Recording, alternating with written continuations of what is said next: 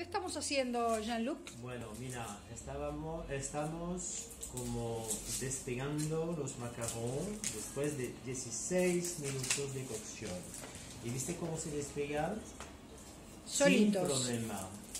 Porque hay algunos secretos de fabricación Muy que bien. no vamos a dar ahora. Porque hay que venir al taller. Hay que venir al taller para Perfecto. saber cómo tener un resultado así perfecto.